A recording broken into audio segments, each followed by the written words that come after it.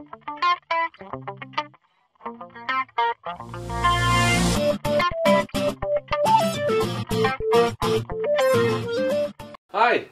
I'm Eric Sloof from NTPRO.NL and I want to welcome you to my little lab environment. I'm running two ESX hosts.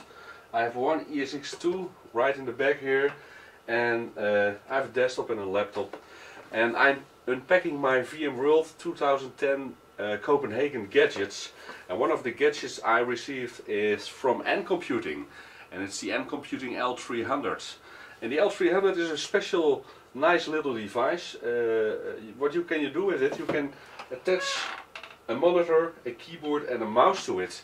And what I just did is that I attached my monitor I normally use for uh, the console of my ESX servers and a keyboard and a mouse to this little device right here. It only consumes 5 watts, so it's very uh, low power.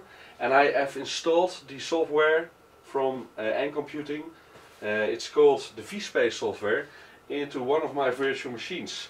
As soon as you power on this device you will uh, get a menu. There are some things you can adjust or customize in this menu and it already shows me an available connection and when I click the connect button I actually go into one of my virtual machines which is uh, uh, completely installed with uh, the vSpace software and that uh, virtual machine is running as an NComputing terminal. So after putting in my username and my password I'm able to log on into one of the sessions of a normal Windows XP virtual machine. The special thing about this virtual machine that's that it's running on SSD storage. So you can imagine when you have several of these little devices you can uh, create a very cheap solution for uh, a low-cost VDI environment running on one of your ESX boxes besides all your other virtual machines.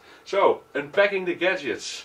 Uh, I hope you like it and I'm gonna uh, unpack some more later on. Thank you. Eric Sloof was just an average guy from Holland. First, he was on the radio. Then he went to the bathroom. Now, he's in the Twilight Zone. Forever.